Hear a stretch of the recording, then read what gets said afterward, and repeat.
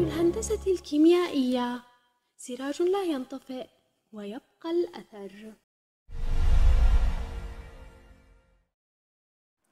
هلا حنحكي عن قانون جديد يلي هو ال fractional excess ال fractional excess يلي بتكون لل excess reactant بس يلي هي عبارة عن ال actual mole لل excess reactant feed عدد المولات المادة المتفاعلة الفائضة اللي بتكون داخل حسب شو معطونا إياها بالسؤال. ناقص ال mole لل excess reactant according stoichiometry هاي هلأ رح نشوف كيف بنقدر نطلعها.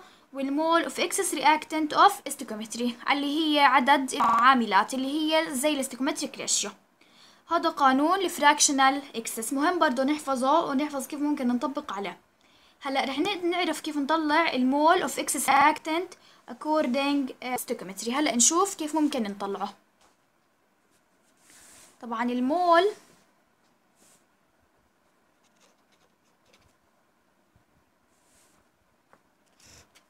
ال mole of excess reactant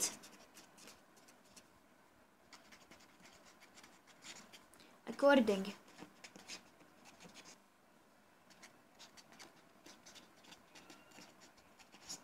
stoichiometry بيساوي. يلي هي stoichiometric ratio يلي هي بين limiting وال reactant اللي مثل ما حكينا قبل نضربها في. ال excess reactant على ال limiting reactant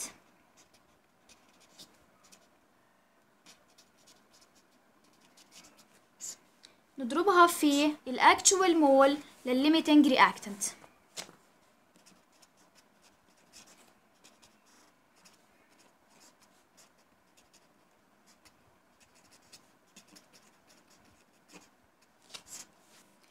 هاي هي العلاقة يلي ممكن منها نطلع ال mole of excess reactant according stoichiometry. يلي هي ال stoichiometric ratio بين limiting reactant وال excess reactant. نضربها في عدد مولات ال excess reactant على عدد مولات limiting reactant. بعدين نضربها في ال actual mole لل limiting reactant هيك من خلالها ممكن نطلع mole of excess reactant according stoichiometry. معلش القوانين هاي طويلة بس لازم نحفظها لحتى نقدر نحدد شو اللي ممكن يكون مطلوب معانا بالسؤال. هلأ في قام إيه كمان قانون جديد ممكن نستخدمه يلي هو ال percentage excess يلي هو بيحكي إنه ال fractional excess ضرب مية بالمية. بس إذا طلبها مهم نطلع ال fractional excess وبعدين نرجع نضربها ضرب مية. بالمية. هلا ناخد مثال لحتى نطبق كل القوانين اللي حكينا عنها قبل. هلا أول شي عنا CH4 زائد O2 بتعطينا CO2 زائد 2 H2O ونفس الشي بنعمل موازنة للمعادلة. هلا ودخل عليها 24 جرام من CH4 و 48 جرام من ال O2 حكينا لازم نحولها لإيش؟ للمولات فبنقسمهم على الكتلة المولية. فبيطلع عنا واحد ونص مول من CH4 واحد ونص مول من ال O2 هلأ بدنا نطلع مين ال limiting reactant هذه أول شي مين ال limiting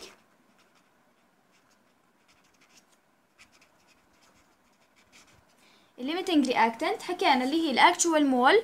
لل O2 على ال actual mole لل CH4 بنشوف مين أكبر حسب ال stoichiometric ratio فبتكون ال actual mole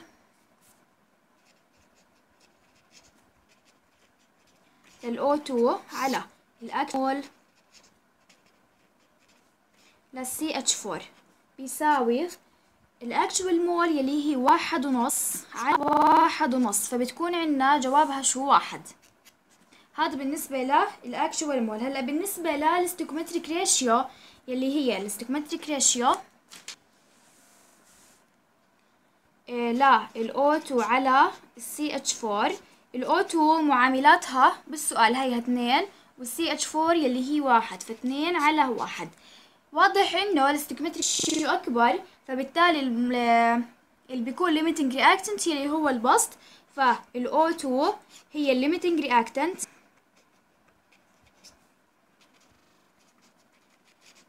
وال CH4 اللي هو ال excess reactant.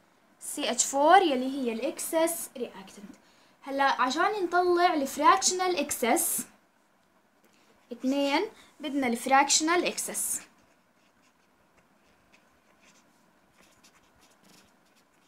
ال fractional excess حكينا القانون تبعها يلي هي ال mole ال actual mole لل limiting reactant feed هيدا القانون بس.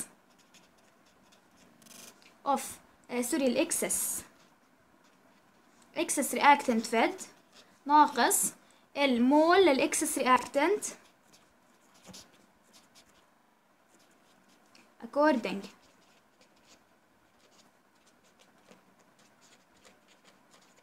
Stoichiometry على ال mole لل excess reactant of stoichiometry. ال mole of excess reactant. اللي هي المعاملات. هذا بالنسبة لقانون ال fractional excess هلأ بنطبق عليه بس أول شي طبعا بدنا نطلع ال mole of excess reactant according stoichiometry شوف كيف.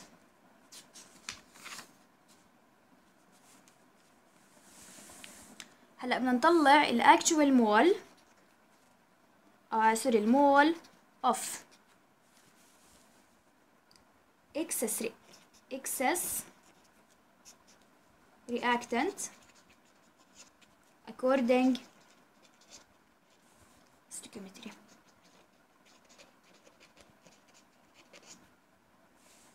بيساوي طبعا حكينا هي لما بدنا نطلع ال mole of excess reactant according stoichiometry بدنا نضربها بال stoichiometric ratio وبعدين بدنا نضربها بال excess reactant على ال limiting reactant اللي هي number على ال limiting reactant وبعدين بدنا نضربها بال actual mole لل limiting reactant بال actual mole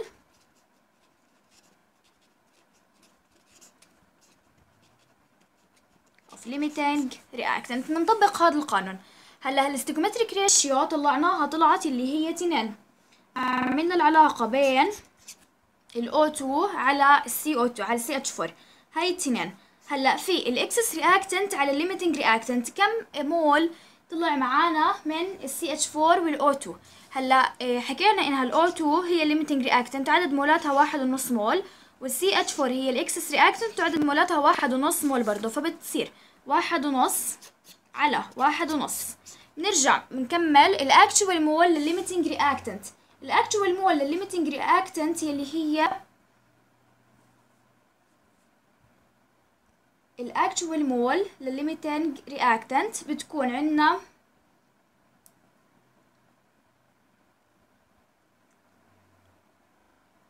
ال actual mole لل limiting reactant يلي هي الواحد ونص اللي هي اللي دخلت عنا. وال stoichiometric ratio هون بس غيرناها يلي هي نص. بدل ما تكون تنين غيرناها اللي هي. صاير CH4 على ال O2 مش العكس.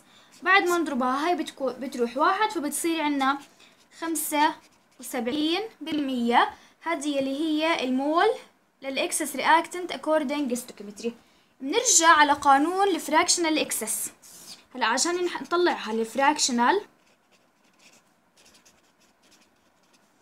ال fractional excess نرجع بس نشوف القانون شو بيساوي. يلي هي ال actual mole لل limiting لل excess reactant fed يلي هي الواحد ونص طلعناها موجودة هاي من السؤال. ال mole لل excess reactant according stoichiometry اللي هي هلا طلعناها على ال mole لل excess reactant of stoichiometry يلي هي ال coefficient تمام؟ اللي هي المعامل. فبتصير. هلأ ال excess reactant آه سوري مش المعامل اللي هي اللي إحنا طلعناها اللي هي according stoichiometry اللي هي نفسها هاي. فبتصير. واحد ونص اللي هي ال excess reactant fed ناقص هذه خمسة وسبعين بالمية على ال actual mole ال mole لل excess reactant according stoichiometry اللي هي نفسها على خمسة وسبعين بالمية فبيطلع عنا جواب واحد. بهيك طلعنا ال fractional excess هلأ لو طلب ال percentage excess ثلاث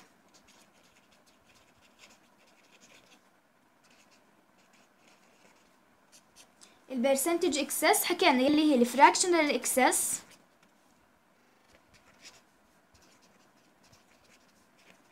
ضرب مية بالمية فبتصير واحد. ضرب مية بالمية بيطلع عنا مية. هيك بيكون عنا ال percentage excess فهيك بنكون طبقنا كل الثلاث قوانين يلي أخذناهم قبل. مهم كتير إنه نحفظ هاي القوانين حتى كل الحل بيجي عليها. فإنه إذا ما عرفنا القانون فمش رح نعرف نحل السؤال.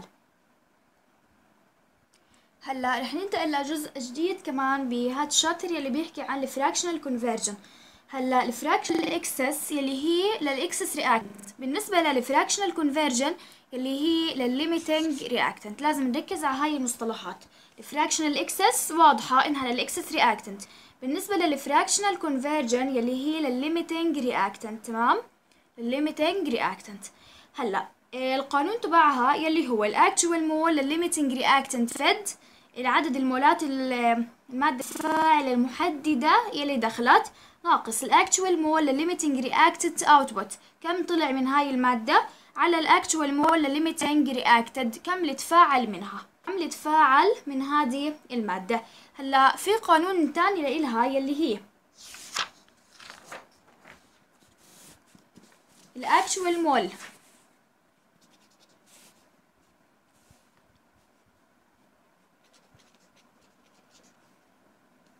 theoretical mole. Of limiting reactant على actual mole. Of limiting reactant fed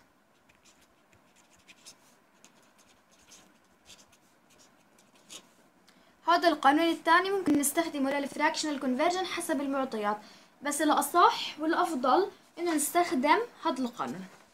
نستخدم هذا القانون يلي هو ال actual mole لل limiting reactant fed ناقص. ال actual mole لل limiting reactant output على ال actual mole لل limiting reacted هاد هو بنستخدمه هلا لو بدنا نرجع للمثال اللي طبقناه قبل شوي يلي هو هاد.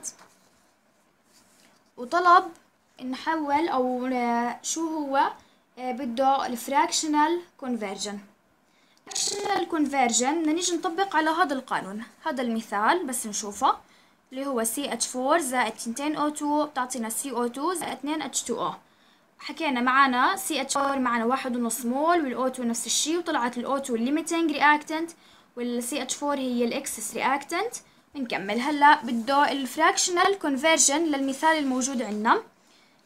على هذا القانون. لما نطبق على القانون اللي موجود عندنا هون. آه نرتب المعلومات. عندنا ال fractional conversion يلي هي القانون تبعها الأصلي يلي هو بنستخدمه لما يكون عندنا كل المعطيات موجودة وطالب ال fractional conversion يلي هو. ال actual mole لل limit لل excess. القانون ال fractional excess اللي هو ال actual mole لل excess reactant fed ناقص ال mole لل excess reactant according stoichiometry وعرفنا كيف ممكن نطلعها.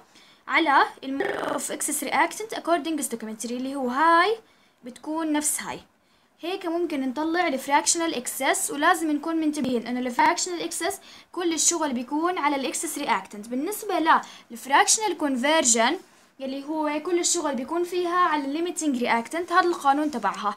يلي هو ال actual mole ال limiting reactant fed ناقص ال actual mole ال limiting reactant output على ال actual mole لل limiting reactant على ال actual mole لل limiting reacted هيك ممكن نطلع ال fractional conversion هلا هذا القانون نستخدمه متى؟